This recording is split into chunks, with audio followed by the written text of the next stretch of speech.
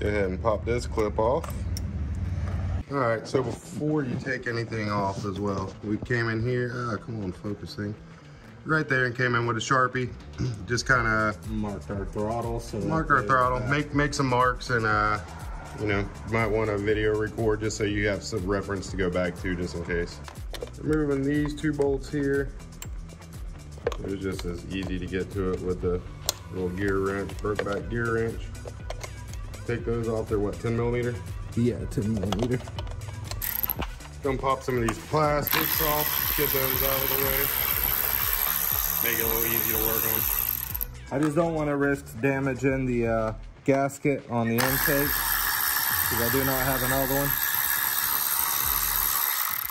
So popping this off first, and we'll pop this off first.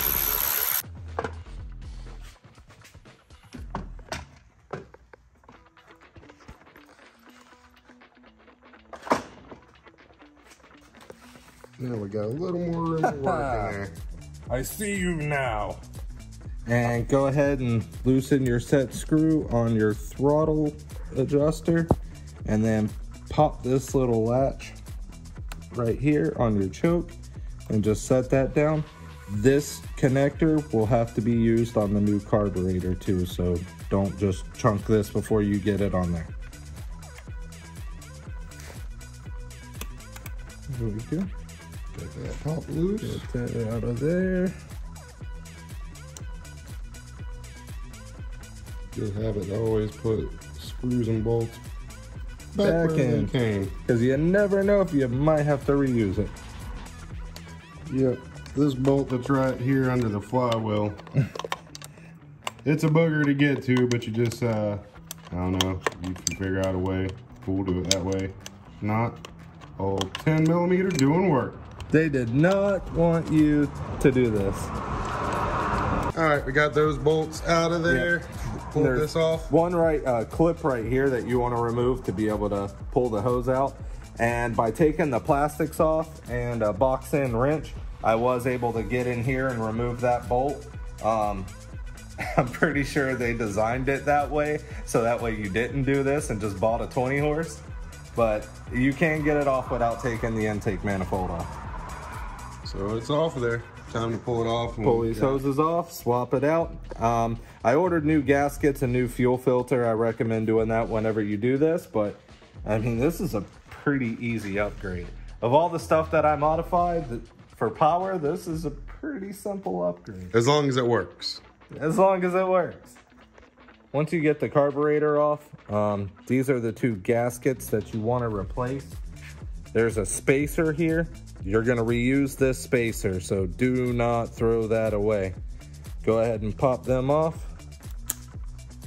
and replace these two gaskets and then put this back on and back together and you should be good to go. See a difference between the old one and the new one. See if you can see anything from the outside.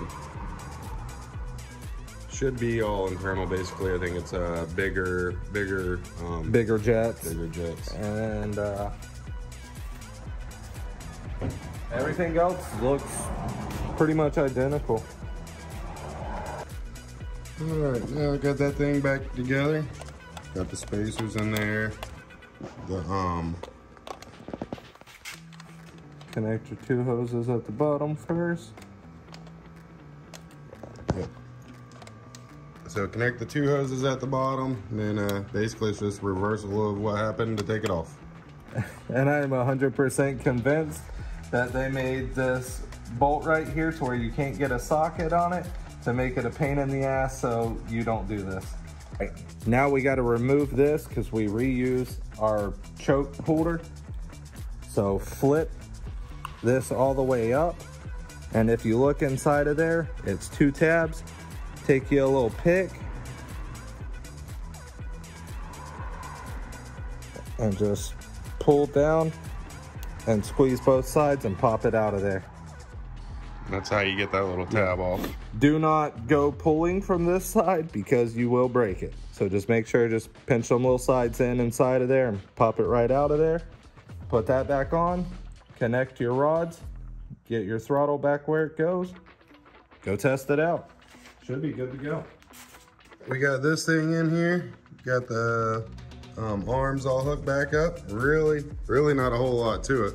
No, and whenever you're in your idle position on here and you're putting your throttle uh, control arm back in, push the control arm, make sure you're all the way down, push it all the way toward away from the motor, and then tighten it down.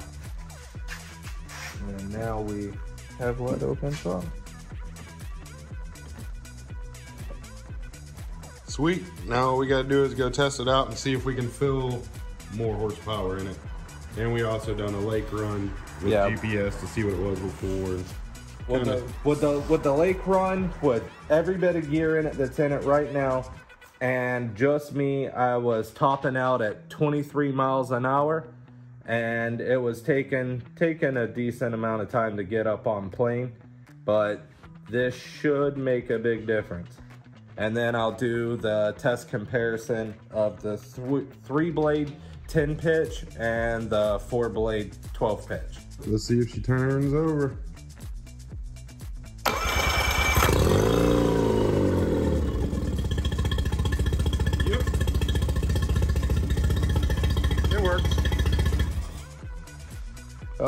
That's it. And it did not sound like that before. It it sounds like a small V8 engine now. So that is how you turn a 15 horse into a